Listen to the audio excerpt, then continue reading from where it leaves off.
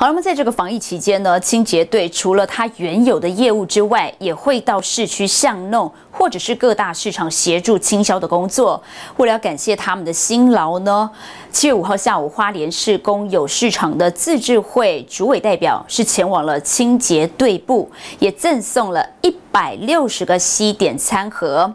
而市长魏家贤也表示，虽然目前疫情是有所趋缓，但是民众也不要因此松懈了。防疫的措施仍要落实。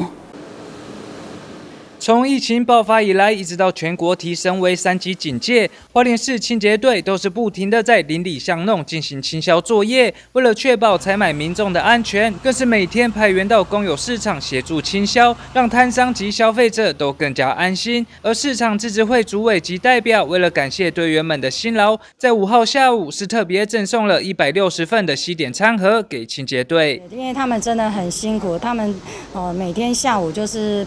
穿梭在应该是每天都穿梭在花莲大街小巷啊，在下午的时间会到五个公有市场呢进行那个市场的清销，对。然后我们这个是聊表我们对清洁队的一些感谢之意，这样子。市长魏家贤则是协同清洁队长吴庆展及市场所长邱信都等人，代表队员们向市场主委表达感谢。那其实，在疫情期间。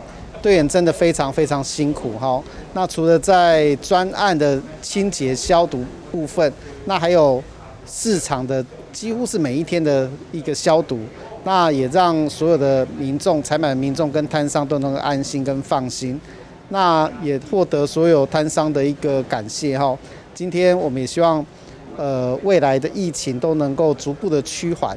那让大家恢复正常的生活，在此同时，也要谢谢所有摊商们的肯定，跟所有主委，也是不眠不休的劝导所有的摊商，一定要做好自身的防护工作。最后，魏市长也提醒市民，虽然花莲已经连续十多天零确诊，但大家仍然不可掉以轻心，一定要落实防疫措施，唯有疫情完全消退，才能有解封的一天。清洁队。加油！记者徐立琴，华联市报道。